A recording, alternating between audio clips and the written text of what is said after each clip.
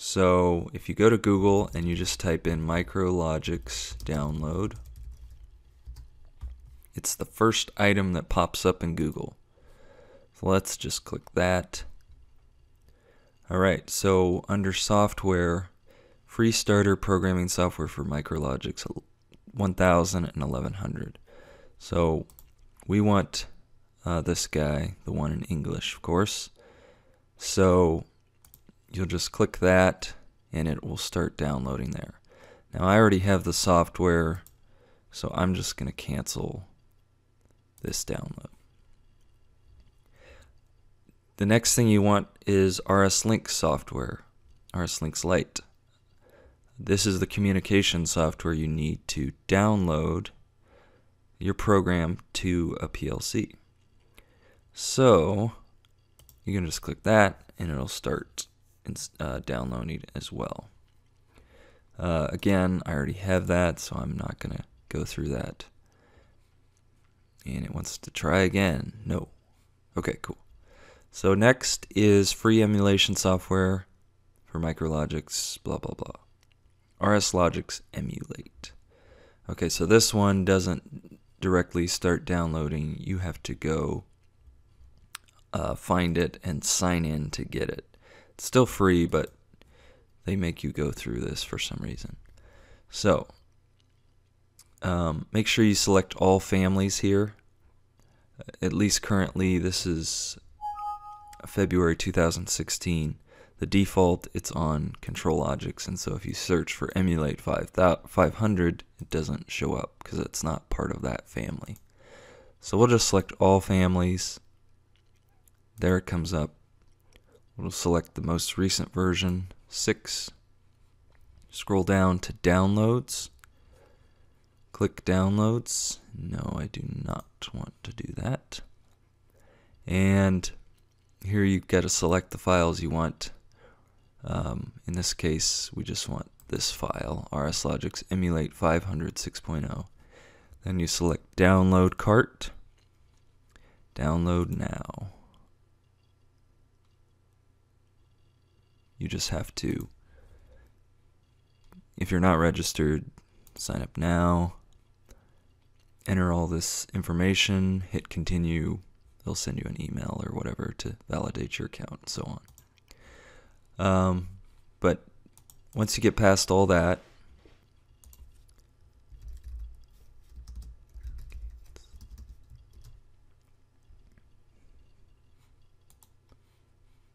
okay. So now that I'm signed back in, we'll try downloading again. And we scroll down and accept these uh, terms.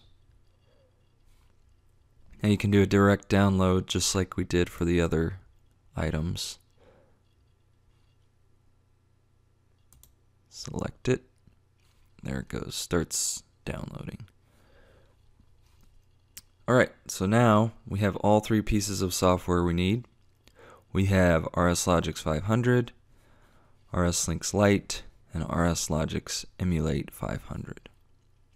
So you'll just want to run those, um, set up files, and go through the instructions to install RSLinx Lite. I've canceled that, so there's nothing there. This, you just run it, go through all the installation instructions. Everything's pretty straightforward there.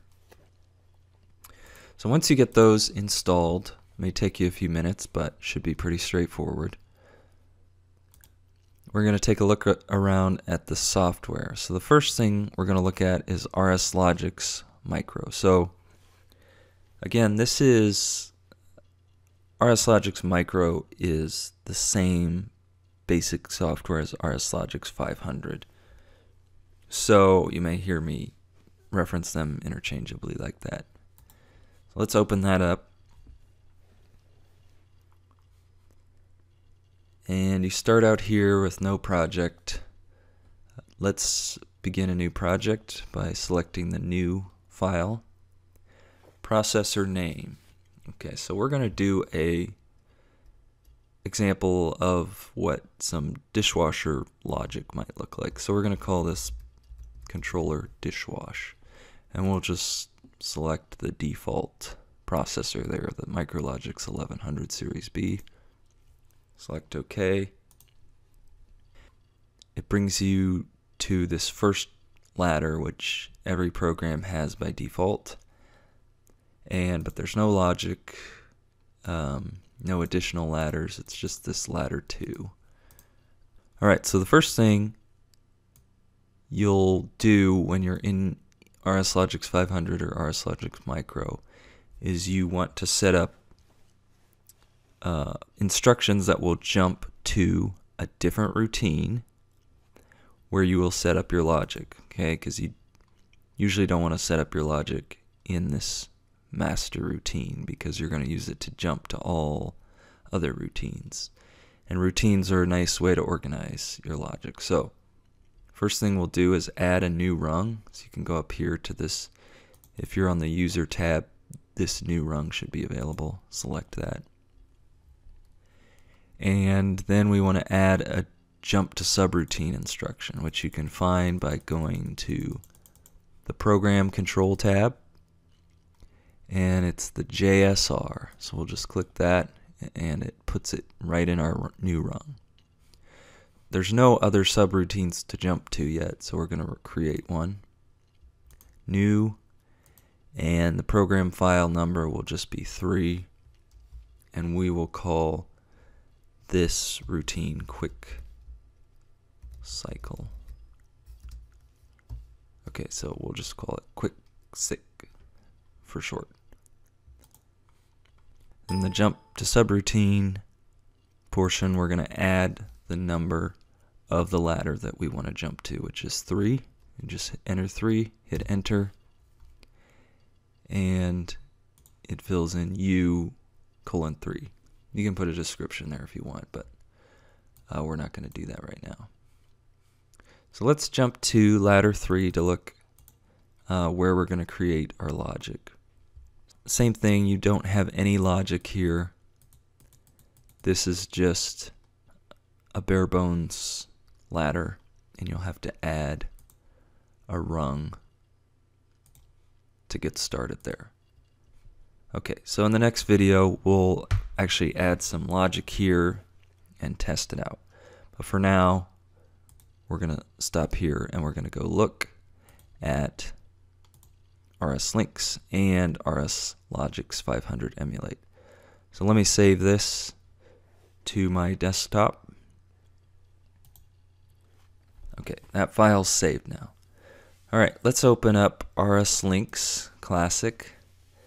Now, I have RS Linx Classic OEM, which is a bigger version than Lite uh, that actually costs money. But everything we're going to do here is exactly the same in Lite. So what you want to do when you open up RS Linx, it'll come to this window. You can uh, open RS Who, which is where you view all your controllers, by clicking this button here. Alright, so once you open up RS Who, you can see what drivers you have entered already. Now I already have this driver entered, but I'm going to delete it and start over so you can see the process here. Configure drivers and then you pull up, pull down this menu for available driver types. And we are going to want, we don't have Ethernet or serial or RS-232 or anything in this case because we don't have a real PLC. We have an emulator which is on this computer, so we're going to use an emulator communication driver. So then select Add New. You can use the default name. Station number, just leave it default. And then we'll close this.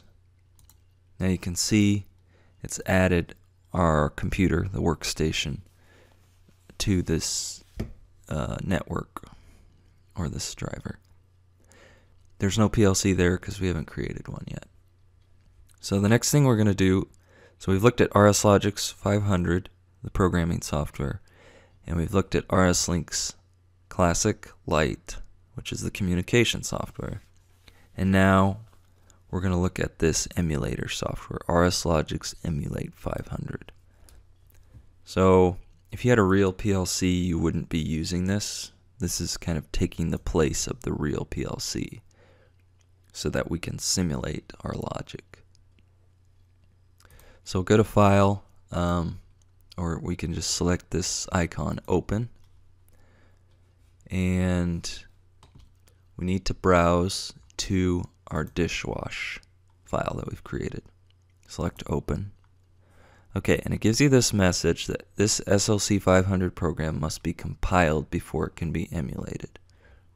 Okay, so it has to be compiled in RS Logix 500. So let's go back there and I'll show you how to do that. Okay, so what it means by that is that basically we need to verify the project. And I'm going to get rid of this rung because it's going to give me an error because there's nothing on it. So see these E's, that's that means there's an error, it hasn't been verified, it hasn't been compiled. So to verify, there's a nice little icon here. You can just click verify. Okay, so now we do that, hit save.